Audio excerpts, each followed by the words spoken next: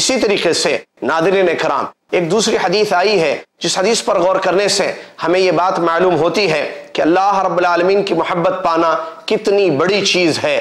اس حدیث سے یہ بات معلوم ہوتی ہے کہ اگر انسان اللہ رب العالمین اس انسان سے محبت کرنے لگتا ہے اور وہ اگر کسی چیز کے لیے قسم کھا لے دنیا میں، تو اللہ تبارک و تعالیٰ اس کے قسم کی لاج رکھتا ہے۔ اس سلسلے میں حدیث کی روشنی میں ایک واقعہ آپ کی خدمت میں پیش کروں۔ ایک صحابی تھے جن کا اسم گرامی انس ابن نظر رضی اللہ تعالیٰ عنہ تھا۔ ان کی ایک پھوپی تھی۔ ان کی پھوپی کے یہاں ایک لونڈی کام کرتی تھی۔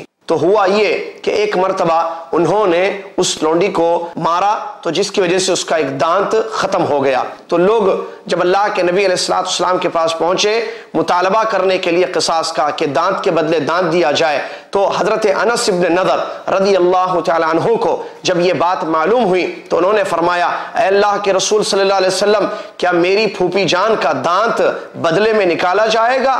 تو اللہ کے نبی علیہ السلام نے بیان فرمایا، اے انس، کتاب اللہ القصاص۔ اللہ رب العالمین کے قرآن میں یہ مسئلہ ہے کہ السن بالسن، دانت کے بدلے دانت ہے یہی قصاص ہے اور جو لوگ ہیں، وہ لوگ اس چیز کو ایکسپٹ نہیں کر رہے ہیں کہ دیت دے کر معاملے کو رفع دفع کیا جائے، بلکہ وہ قصاص کا مطالبہ کر رہے ہیں۔ لہٰذا، جب وہ لوگ دیت کا مطالبہ نہیں کر رہے ہیں تو اور دیت لینے پر راضی نہیں ہے تو پھر قصاص ہی باقی رہ جاتی ہے۔ تو وہاں حضرت انس ابن نظر رضی اللہ تعالیٰ عنہ نے یہ بات بیان فرمائی، اللہ کی قسم کھاتا ہوں کہ میری پھوپی کا دانت انشاءاللہ نہیں لیا جائے گا۔ اس کے بعد کیا ہوا؟ غور کیجیے اس حدیث شریف پر کہ اللہ کے نبی علیہ السلام انتظار کرتے ہیں کہ کس طریقے سے جو ہے قصاص کا معاملہ ختم ہو جائے۔ ان لوگوں کی دلوں میں اللہ رب العالمین نے یہ بات ڈال دی کہ ہم دانت کا بدلہ دانت سے نہیں لیں گے، بلکہ قصاص کو ترک کر کے ہم دیت پر راضی ہو جائیں گے۔ چنانچہ وہ لوگ اللہ کے نبی محمد صلی اللہ علیہ وسلم کے پاس آتے ہیں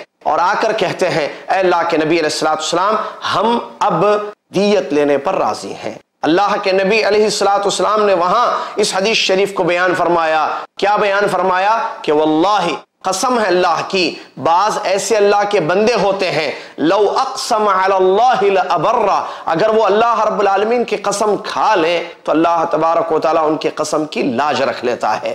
چنانچہ حضرت انس بن نظر رضی اللہ تعالیٰ نے جو قسم کھائی تھی کہ میری پھوپی جان کا دانت نہیں نکالا جائے گا، تو اللہ رب العالمین نے آپ کے اس قسم کی لاج رکھ لی اور ان لوگوں کے دلوں میں ڈال دیا کہ وہ دانت کے بدلے دیت پر کسی چیز کو لے کر وہ جو ہے مطالبے کو ختم کر لیں اور دیت لے کر اس پر وہ رضامند ہو جائیں۔ تو اس حدیث پر غور کرنے سے یہ بات معلوم ہوتی ہے نادرین کرام کہ بندے سے اگر اللہ رب العالمین محبت کر لے اور وہ بندہ اگر اللہ کی قسم کھا کر کچھ کہہ دے تو اللہ تبارک و تعالیٰ اس کی قسم کی حفاظت کرتا ہے۔ اللہ رب العالمین اس کی قسم کی لاج رکھتا ہے۔ تو یہ دوسری حدیث ہوئے ایسے بہت سارے اگر ہم حدیثوں پر غور کریں تو اللہ تبارک و تعالیٰ کی محبت انسان کی زندگی میں آ جائے تو کیسے اس کی زندگی میں فائدہ ہوتا ہے؟ یہ چیزیں معلوم ہوتی ہیں۔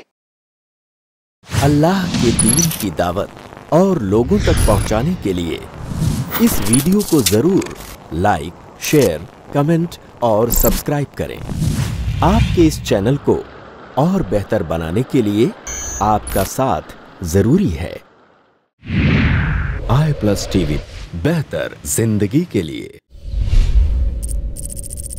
اپنے کیبل یا ڈی ٹی ایچ آپریٹر سے آئی پلس ٹی وی آج ہی ڈیمانڈ کریں۔ I plus T V free to air اور انڈین رجسٹرڈ چینل ہے۔